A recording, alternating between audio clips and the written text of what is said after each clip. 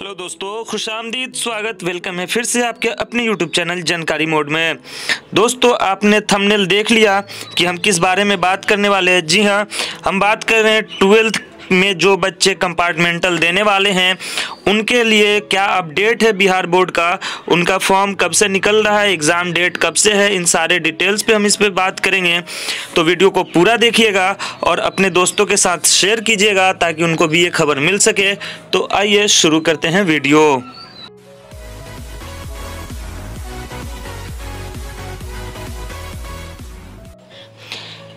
तो दोस्तों, आप देख सकते हैं कि बिहार बोर्ड इंटर कंपार्टमेंटल यानी सप्लीमेंट्री जिसे आप कहते हैं कि परीक्षा की तिथि घोषित कर दी है।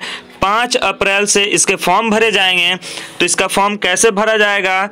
कि कब एग्ज़ाम होगा, कब रिज़ल्ट आएगा, सब कुछ जानेंगे इस वीडियो में। वीडियो को पूरा देखिएगा। देखिए, आगे कह रहा है कि बिहार विद्यालय परीक्षा समिति ने क्लास 12 के लिए कंपार्टमेंटल परीक्षा की तारीख की घोषणा कर दी है।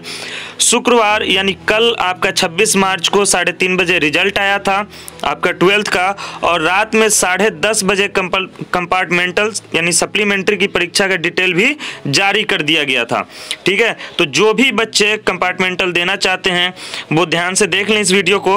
आपको सारा डिटेल्स इसमें बता रहा हूँ। इसमें कह रहा है कि इंटरमीडिएट कंपार्टमेंटल सह विशेष परीक्षा जो है वो आपका 29 अप्रैल 2021 से किया जाएगा। यानी अप्रैल में 29 तारीख को आपका कंपार्टमेंटल का एग्ज़ाम होगा और यह परीक्षा 10 मई 2021 तक चलेगा।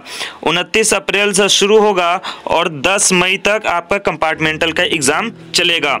और आगे कैसे फॉर्म वगैरह भरना है, ये सारा देखते हैं इसमें। कह रहे हैं कि बिहार बोर्ड ये बारहवीं कंपार्टमेंटल परीक्षा का जो आवेदन फॉर्म है वो पाँच अप्रैल से शुरू हो जाएगा। आपका एग्ज़ाम उनतीस से शुरू हो रहा है और फॉर्म आपका पाँच अप्रैल से ही शुरू होगा और जिन स्टूडेंट्स को परीक्षा में अपियर होना है, उनके पास परीक्षा फॉर्म भरने के लिए, देखिए यहाँ पे पाँच अप्रैल से दस अप्रैल तक का समय है। यानी आपके पास पाँच दिन का समय रहेगा जब शुरू होगा पाँच तारीख से तो। तो ये आप फॉर्म पाँच से दस तारीख तक भर सकते हैं। और कैसे फॉर्म भरेंगे? तो उसके लिए आपको है, अपने स्कूल, कॉलेज में संपर्क करना होगा। आप अपने स्कूल, कॉलेज से अपना कंपार्टमेंटल का एग्ज़ाम का फॉर्म भर सकते हैं। इसका रिज़ल्ट वगैरह का देखिएगा कि कब आएगा रिज़ल्ट। तो इसमें आवेदन फॉर्म की तारीखों के साथ साथ बोर्ड ने इंटर कंपार्टमेंटल सविशेष परीक्षा के परिणाम की घोषणा का समय भी बता दिया। और वो कब बताया है? तो वो बताया है कि मई में इसमें डेट कोई फिक्स नहीं किया गया। इसमें मई में बताया गया कि आपका परीक्षा का रिज़ल्ट आ जाएगा।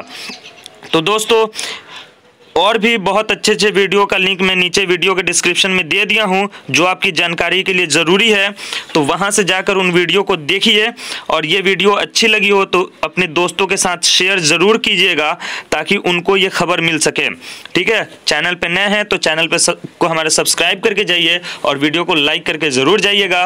दोस्तों, आपके अच्छे भविष्य की कामना करते हैं। मिलते हैं अगली वीडियो में। तब तक के लिए good bye. Thanks for watching. जय हिंद।